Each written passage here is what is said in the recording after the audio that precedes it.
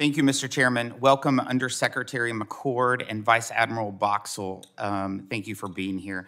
President Biden and Washington Democrats are, are leading the effort in this budget to defund our men and women in uniform.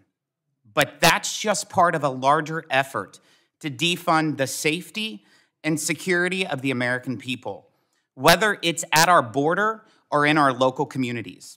And it layers billions in funding to satisfy the priorities of their wealthy friends, supporters, and political cronies. This is nonsense, or what we in Missouri call hogwash.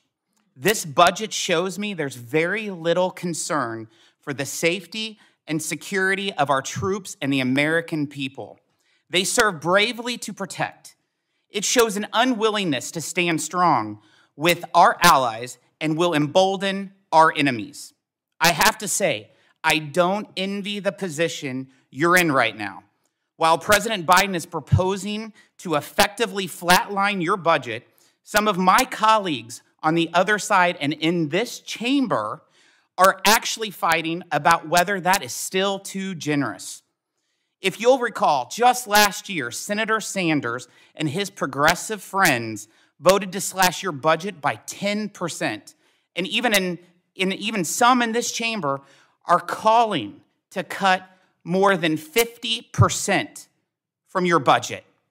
$350 billion. Many of us are all deep, many of us are all deeply concerned about the effects on our military if they get their way. Our number one job is to keep Americans and their families safe at home. Blind cuts to America's military would be a disaster and take away important resources from, from our men and women in uniform, resources they need to stay safe and meet the challenges facing our nation, including the rise of China. Unfortunately, this budget falls short. The president is pushing a massive spending and tax plan, $17 trillion to our debt, increases taxes up to $55 trillion.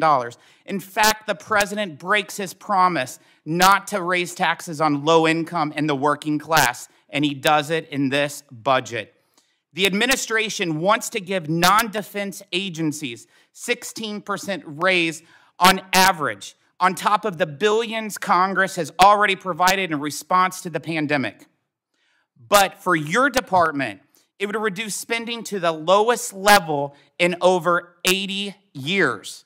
The lowest level in over 80 years. By that time, under this budget, Americans will pay more to settle the interest on our national debt that President Biden has run up than we will spend on our entire national defense budget.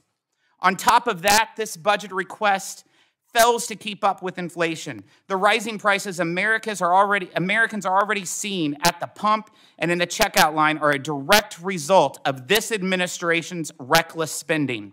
Continuing these policies will only make it worse and drive up procurement costs, the cost of the very equipment and tools our military members need to do their jobs safely.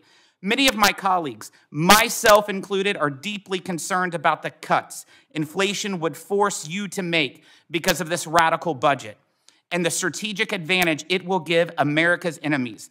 But even the meager amount of funding this budget offers your department, it fails to fully prioritize America's military defense in fact, when I read this budget, I notice significant cuts to critical programs, and a lot of that money will instead be used to impose Green New Deal policies on our military. President Biden's budget would repurpose $617 million in funding towards climate resilience and energy efficiencies. These changes will undoubtedly require cuts in other areas like equipment for our military men and women, Navy warships, Air Force fighter craft, and reduce overall military procurement and resources for our troops. To put it simply, this budget cuts America's defense and gives massive raises to Washington bureaucrats by overspending and taxing the American people. It is clear President Biden and his administration are out of touch with the working class. Last month at the Naval Academy, Vice President Harris joked that service members would prefer to carry solar panels than batteries, even though solar panels also require batteries to store energy. This budget for our military is a solution in search of a problem. There will always be areas in need of improvement in our federal agencies, but blindly cutting military spending is not the way to do it. And just like the vice president's joke, this budget does not land well with the American people. Yield back.